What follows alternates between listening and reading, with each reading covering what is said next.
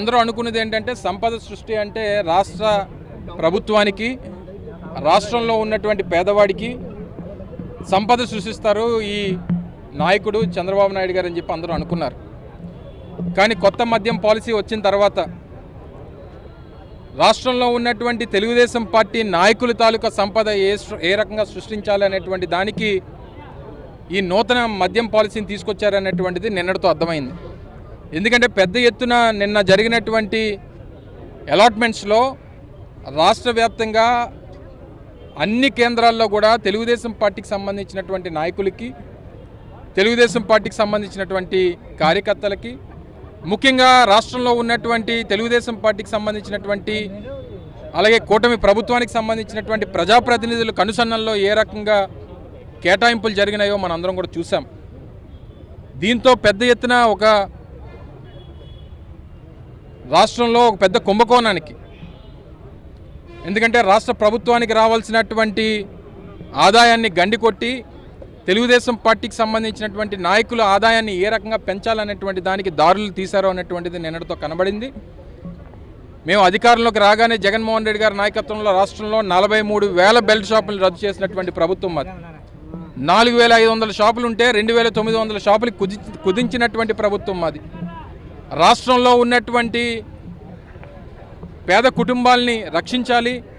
ముఖ్యంగా మద్యం బానిస మద్యానికి బానిసలైనటువంటి అనేక కుటుంబాలని రక్షించాలనేటువంటి ఉద్దేశంతో జగన్మోహన్ రెడ్డి గారు ఈరోజు ఆ రోజు తీసుకున్నటువంటి నిర్ణయాల్ని అన్నీ పక్కన పెట్టి ఆ రోజు వాలంటీర్ల ద్వారా రాష్ట్రంలో ఉన్నటువంటి ప్రతి ఇంటికి ప్రభుత్వ సేవలు అందిస్తే ఈరోజు ఈరోజు చంద్రబాబు నాయుడు గారు ఇంటింటికి మద్యం పథకాన్ని ప్రవేశపెట్టినటువంటి సందర్భాలు మనం చూస్తూ ఉన్నాం. మీరు చూస్తూ ఉండండి రానున్నటువంటి రెండు మూడు నెలల్లో ప్రతి వీధిలో ఒక బెల్ట్ షాపు ప్రతి ఇంటికి మద్యాన్ని అందించేటువంటి సందర్భాలు రాకపోతే మీరు అడగండి. ఎందుకంటే ఈరోజు పెద్ద ఎత్తున వసూలు చేసినటువంటి లైసెన్స్ ఫీజు కానివ్వండి లేదా అలాట్మెంట్కి సంబంధించినటువంటి తీసినటువంటి డ్రాలో పెట్టినటువంటి డబ్బు కానీ వీటన్నింటినీ ఎలాగ ఏ రకంగా రాబడతారు? ప్రతి ఇంటికి మద్యాన్ని సరఫరా చేసేటువంటి స్కీములు తీసుకొస్తారు. ప్రతి వీధిలో ఒక బెల్ షాపులు పెట్టేటువంటి కార్యక్రమాన్ని చేస్తారు. తద్వారా ఈరోజు పూర్తిగా విద్యని వై వైద్యాన్ని అన్ని పక్కన పెట్టి వెనక్కి నెట్టేసి విద్యా వైద్యం కాదు మద్యమే ప్రధానం నాణ్యమైనటువంటి మద్యాన్ని ఇస్తామని చెప్పి చెప్తా ఉన్నారు. ఈరోజు నిత్యావసర ధరలు పెరిగిపోతూ ఉన్నాయి. ఇసుక దొరకనటువంటి సందర్భాలు ఉచితంగా ఇసుక అని చెప్పానన్నారు. అన్నారు ఈరోజు టన్ను దాదాపు పదిహేను వందల నుంచి పదహారు వందల రూపాయలు ఛార్జ్ చేసేటువంటి పరిస్థితి కనబడతా ఉంది. ఈ సందర్భంగా మేము కోరుతూ ఉన్నాం. ఇప్పటికే వైఎస్ఆర్ కాంగ్రెస్ పార్టీకి సంబంధించినటువంటి నాయకత్వం కానీ జగన్మోహన్ రెడ్డి గారు కానీ లేదా మా మహిళా నాయకత్వం కానీ పెద్ద ఎత్తున దీని మీద ఉద్యమం చేస్తారు. డెఫినెట్గా ఏదైతే ఈరోజు తీసుకున్నటువంటి మద్యం పాలసీ కేవలం రాష్ట్రంలో ఉన్నటువంటి తెలుగుదేశం పార్టీ కూటమి ప్రభుత్వానికి సంబంధించినటువంటి నాయకులు బాగోగుల కోసం వాళ్ళ సంపద సృష్టించడం కోసం పెట్టినటువంటి విధానాన్ని దీన్ని తక్షణమే రద్దు చేయాలని చెప్పి వైఎస్ఆర్ కాంగ్రెస్ పార్టీ డిమాండ్ చేస్తూ ఉంది. అందులోని మరి ముఖ్యంగా ఇప్పటికే చాలా సందర్భాల్లో వైఎస్ఆర్ కాంగ్రెస్ పార్టీ మీద నిందలు మోపేటువంటి ప్రయత్నం చేశారు. ఈరోజు రాష్ట్రంలో ఇరవై డిస్టిలరీలు ఉంటే అందులో రెండు వేల పద్నాలుగు నుంచి పంతొమ్మిది మధ్యలో పద్నాలుగు డిస్టిలరీలకి పర్మిషన్ ఇచ్చినటువంటిది తెలుగుదేశం పార్టీ గత ప్రభుత్వం. ఒక్క డిస్టిలరీకి కూడా వైఎస్ఆర్ కాంగ్రెస్ పార్టీ ప్రభుత్వంలో పర్మిషన్ ఇచ్చినటువంటి సందర్భాలు లేవు. ఒక్క బ్రాండ్కి కూడా వైఎస్ఆర్ కాంగ్రెస్ పార్టీ పర్మిషన్ ఇచ్చినటువంటి సందర్భాలు అన్నీ కూడా గతంలో తెలుగుదేశం పార్టీ ఇచ్చినటువంటి బ్రాండ్లు కానీ డిస్టిలరీలు కానీ అన్ని వారి ప్రభుత్వం హయాంలో ఇచ్చింది. ఇప్పుడు వాటిని కొనసాగిస్తారు. రేపు నాణ్యమైనటువంటి విద్య నాణ్యమైనటువంటి వైద్యం నాణ్యమైనటువంటి కరెంటు ఈ రకంగా ఇస్తానని చెప్పినటువంటి ఇప్పుడున్న ముఖ్యమంత్రి ఈరోజు నాణ్యమైనటువంటి మద్యం పథకంతో ముందుకొచ్చాడు. తప్పకుండా దీనికి రానటువంటి రోజుల్లో పేదవాడి నుంచి పెద్ద ఎత్తున వారి మీద ఏ రకంగా ఈరోజు రాష్ట్రంలో ఉన్నటువంటి పేదవారు తిరగబడతారు అన్నటువంటిది రానున్నటువంటి రోజులు ఎన్నాళ్ళ నుంచో మరి రాష్ట్ర ప్రజలందరూ ఎదురు చూస్తున్నారు.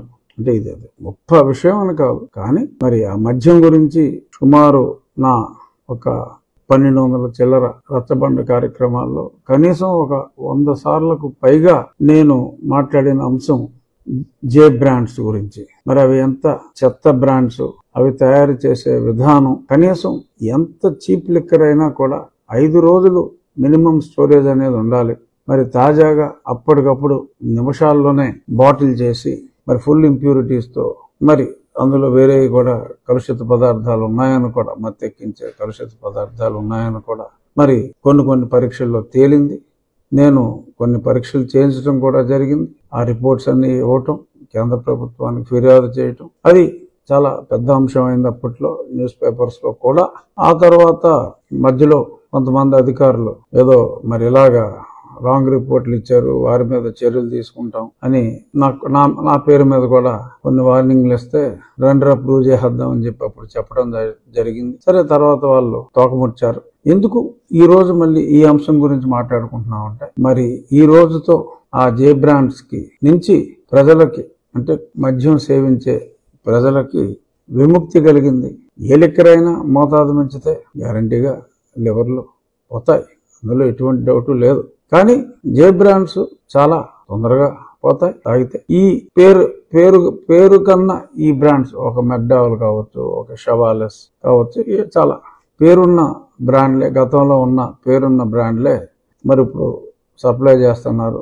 ధర కూడా మరి వాళ్ళు ఏదో మధ్యాహ్నం ధరల లిస్ట్ కూడా వచ్చింది. ఏదో నూట ఇరవై రూపాయల నుంచి ఏదో సమ్ అప్వార్డ్స్ మరి ధర కూడా గతంతో పోలిస్తే చాలా భారీగానే తగ్గించారు. సరే షాపుల్లో విపరీతంగా ప్రజలందరూ పాల్గొన్నారు. అంచనాలను మించి అప్లికేషన్స్ వచ్చినాయి. ప్రభుత్వానికి మరి సుమారు పద్దెనిమిది వందల కోట్ల రూపాయల ఆదాయం అప్లికేషన్లోనే వచ్చింది. ఫస్ట్ మూడు రోజులు చూసి ఆదాయం రావట్లేదు మర్రో మర్రో కుర్రో అన్నా కూడా మరి విపరీతంగా ఊహలను మించి మరి ఆదాయం కూడా వచ్చింది. ఇవాళ నుంచి మొదలు పెడుతున్నట్టుగా మరి చూసాం అంతేకాకుండా గతంలో మేజర్ అవినీతి డిజిటల్ పేమెంట్లు లేనందువల్ల జరిగింది. ప్రభుత్వం అమ్మే షాపుల్లోనే మరి డిజిటల్ పేమెంట్లు లేకపోవడం అంటే ఎంత దారుణం? అప్పుడు చెప్పుకున్నాం కూడా. ఎన్నోసార్లు నేను చెప్పాను. పార్లమెంట్లో కూడా మాట్లాడా. ఆంధ్రప్రదేశ్ ఒక పక్క ప్రధాని గారేమో డిజిటల్ ఇండియా డిజిటల్ ఇండియా అంటా ఉంటే క్యాష్ ఆంధ్ర క్యాష్ ఆంధ్ర అంటూ మరి మా ఆంధ్రప్రదేశ్ ప్రభుత్వం నడుస్తుందని చెప్పి చెప్తే ఓకే నా మీద తిరగబట్టడానికి కొంతమంది వచ్చారు. సరే ప్రస్తుతం వాళ్ళు ఎవరు? అడ్రస్ లేరు. అప్పుడు తిరగబడ్డ వాళ్ళు. అప్పుడు సజావుగా ఉన్న వాళ్ళు ఎస్ వేరే పార్టీ నుంచి అయినా చాలామంది ఎంపీలుగా ఉన్నారు. అప్పుడు తిరగబడ్డ వాళ్ళు మటుకు తిరగబడిపోయారు పూర్తిగా. చెప్పొచ్చేది ఏంటంటే ఇంతకీ ఇప్పుడు ఇవాళ నుంచి చంద్రబాబు నాయుడు గారు స్ట్రిక్ట్గా డిజిటల్ పేమెంట్ మ్యాండేటరీ అని చెప్పడం జరిగింది. సో దానివలన దొంగ సరుకు రావటం గతంలో అనుమానం లేదు వచ్చింది దొంగ సరుకు.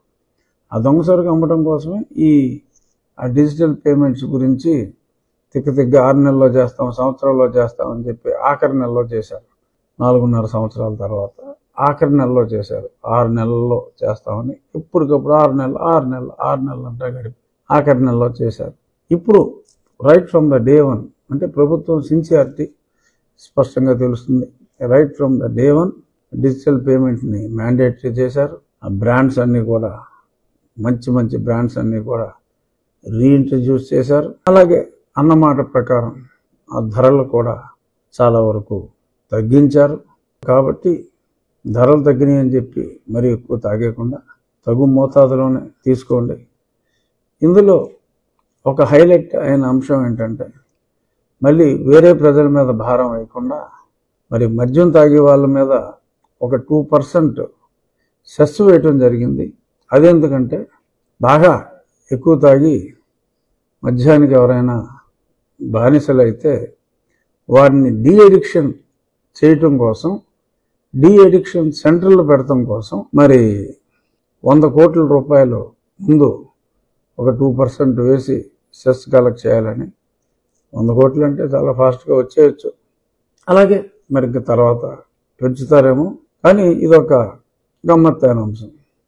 సో ఎవడైతే మరి మద్యం కొంటాడో అతను ఆరోగ్యం చెడిపోయినా శృతి మించిన మరి వాళ్ళ దగ్గరే కలెక్ట్ చేసిన డబ్బుతో వాడికి వైద్యం చేయించడం అనేది ఒక గమ్మత్తైన వినూత్నమైన కాన్సెప్ట్ డెఫినెట్గా ఈ విషయంలో ముఖ్యమంత్రి గారిని ఎంతైనా అభినందించి తీరాలి. అన్నమాట ప్రకారం మరి కాస్త ఆలస్యమైనప్పటికీ కూడా మరి ఈ రోజు నుంచి మందుబాబుల కష్టాలు తగ్గుతాయి ఆరోగ్యం కాస్త ఇంప్రూవ్ అవుతుంది డెఫినెట్గా కానీ మరొక్కసారి గవర్నమెంట్కి రెవెన్యూ కోసం మీరు అతిగా తాగవలసిన అవసరం లేదు. మితంగానే తీసుకోమని చెప్పి. అంటే మళ్ళీ నన్ను శాపనార్థాలు పెట్టద్దు. అసలు తీసుకోకండి. కానీ ఒకవేళ తీసుకోవాల్సిన ఆవశ్యకత వస్తే కొంచెం. అంటే శారీరక శ్రమ పగలంతా చేసిన వాళ్ళకి అలసట తిరగటానికి కొంచెం. అంతే అంతకు మించి దయచేసి ఎక్కువ మద్యం తాగొద్దు. ఎన్నో సంవత్సరాల పాటు ఈ మద్యం మీద నాలాగే ఎందరో కష్టపడ్డారు. చాలామంది ఆరోగ్యాలు పోయాయి. ఎంతోమంది చనిపోయారు. మొన్నే ఒక డాక్టర్ గారితో మాట్లాడా మీకు ఇంకా కేసులు తగ్గిపోతాయేమో అని చెప్పి అంటే తక్కువకి ఇస్తున్నారు కదా సార్ మళ్ళీ ఎక్కువ తాగుతారు. మా కేసులకి పెద్దగా ఇబ్బంది ఉండకపోవచ్చు. కానీ అప్పట్లో ఉన్న ఆ ఆ పేషెంట్లు ఆ లివర్ పేషెంట్లు ఆ డిమాండ్ అయితే డెఫినెట్గా ఉండదు అని చెప్పి చెప్పడం జరిగింది. ఇన్ని లైట్ రివ్యూ అని చెప్తున్నా. బట్ సంభాషణ జరిగిన మాట నిజం. సో చంద్రబాబు నాయుడు గారు అన్నమాట మూడు నెలల్లోనే ఈ విషయంలో కూడా నిలబెట్టుకున్నారు. అన్నీ కూడా అలాగే నిలబెట్టుకుంటారు.